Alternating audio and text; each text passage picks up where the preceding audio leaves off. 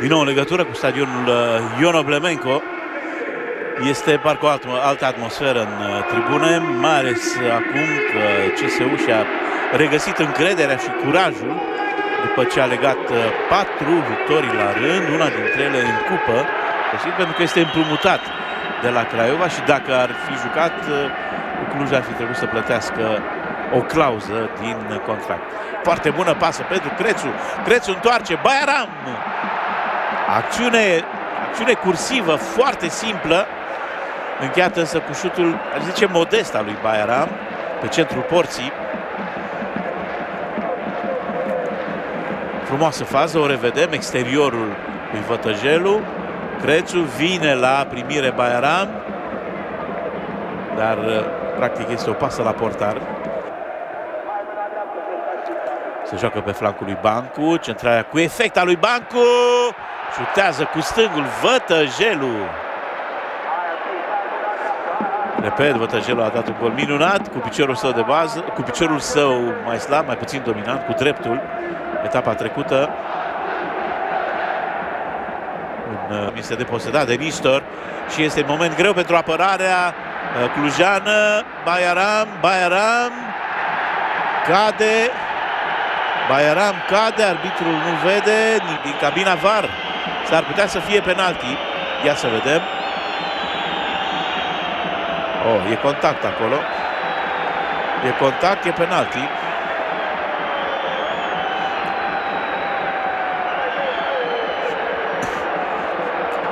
Nu-l acuz pe, pe arbitru, pe Iulian Călin, pentru că a luat uh, probabil uh, cea mai sigură decizie în folosul uh, meciului, în folosul dreptății din teren. Este într-adevăr fault, omul nu s-a grăbit, a așteptat să se termine faza, se duce acum să vadă și nu poate lua decât o decizie, penalti. Și dictează penalti. Nu se putea altceva. La linii porții, să-i vedem și pe ceilalți jucători, să nu intre vreunul care mai devreme. Apără Iliev și jocul continuă.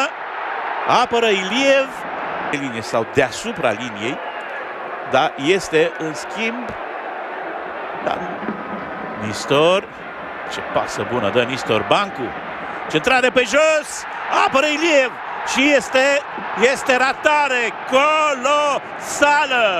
Rivaldinho din uh, câțiva centimetri dă pe lângă poartă Uluitoare ratare, uluitoare. O revedem. Centrare foarte bună a lui Bancu din uh, pasa la fel de bună venită de la Nistor. Apără Iliev, primul șut al lui Rivaldinho. Bine, se plasează bine și apoi Rivaldinho e în picioare. Este o fază de coșmar pentru orice atacant. Să fie, iată, la aproape de linia porții, sunt 10 cm de linia porții, să nu poți să atingi mingea nici cu stângul, nici cu dreptul.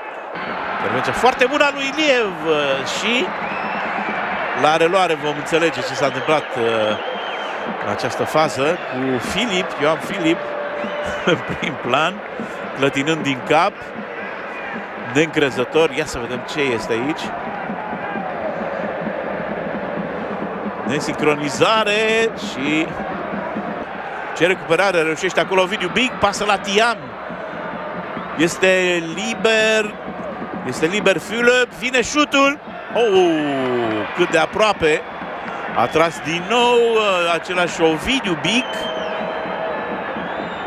care, să ne aducem aminte, cât a jucat la CSU Craiova, a dat golul vieții sale contra FCSB-ului. Revedem faza și povestim mai încolo. Minge care ricoșează la Ovidiu Big.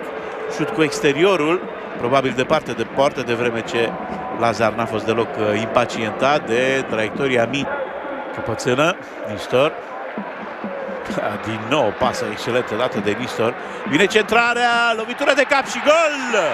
Înscrie Crețu, fructificând în cele din urmă insistența ofensivă a Craiovei. Din nou o fază foarte bine articulată. O pasă luminoasă. Cineva este pus să facă flotări, nu cumva era doi? Nu, nu, pare că nu e, nu e Rădoi. Nu este Rădoi. Uh, probabil un pariu uh, pierdut uh, de autorul acestor flotări.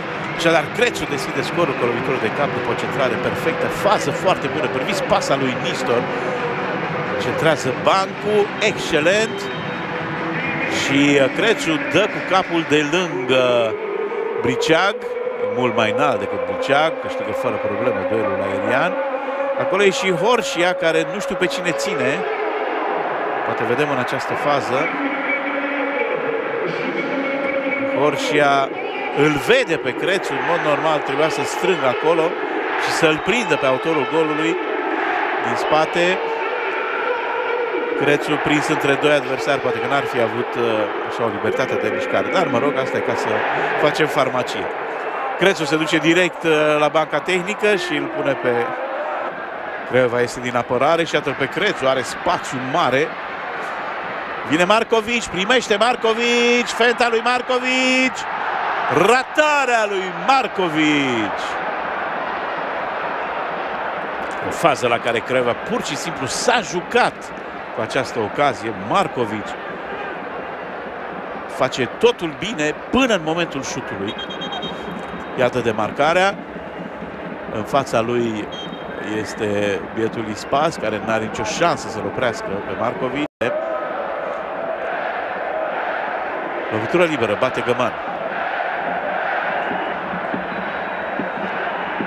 Spuneam, fără angajament între mai 2021, august 2022.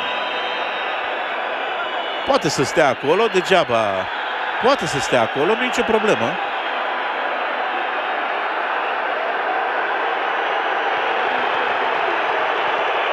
Asta n-am înțeles-o.